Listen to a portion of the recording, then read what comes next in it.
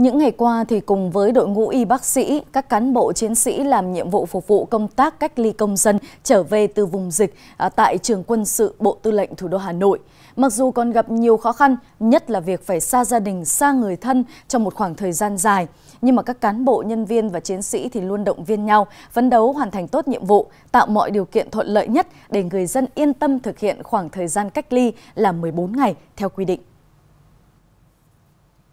4 giờ sáng, khoảng thời gian mà nhiều người vẫn còn chìm trong giấc ngủ, thì cũng là lúc lực lượng phục vụ tại trường quân sự Bộ Tư lệnh Thủ đô Hà Nội bắt đầu công việc chuẩn bị bữa sáng cho 726 công dân trong khu vực cách ly. Tuy mệt vì phải dậy sớm, nhưng ai cũng cố gắng khẩn trương, nghiêm túc trong từng công đoạn chế biến. Hơn 2 giờ đồng hồ lao động, hàng trăm suất ăn đã hoàn thành và được vận chuyển trực tiếp đến tay người dân trong khu cách ly.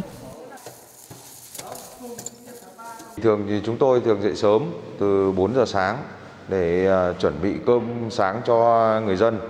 Sau đó là cái thứ hai nữa là cái thời tiết thì ở đây nó cũng thay đổi rất là thất thường, lúc nắng lúc mưa nên là nhiều lúc anh em cảm thấy rất là mệt mỏi. Thứ ba nữa là nhiều lúc thì anh em vẫn có cái suy nghĩ về gia đình là nhớ về gia đình, bố mẹ, vợ con.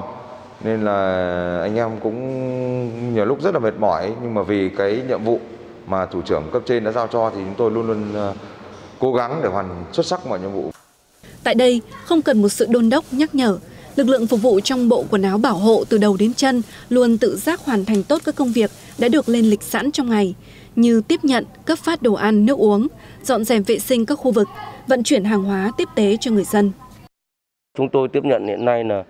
là hơn 700 người, là 775 người rồi. Thế thì quá trình phục vụ đây thì